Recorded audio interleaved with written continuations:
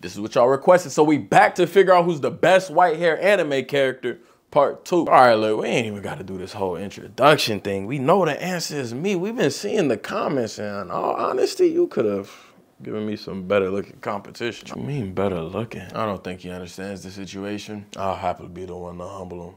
Hey, dumbass, what do you think this argument is about? It was about who get the most girls, and honestly, I think I'm the only person people even simp for out of this group. Okay, so there is actually a high amount of Dabi simps out there, but you know, that's kind of beside the point. That was actually only in part one. Now we're kind of just arguing on who's better. Oh, I, um, I, I did not know you changed it back.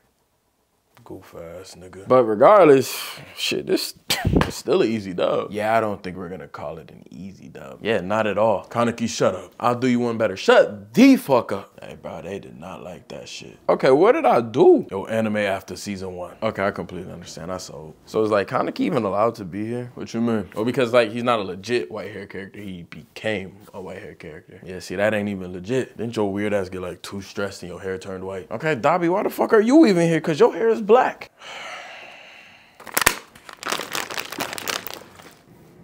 Okay, let's be real. How did half a bottle of water just get rid of all that dye?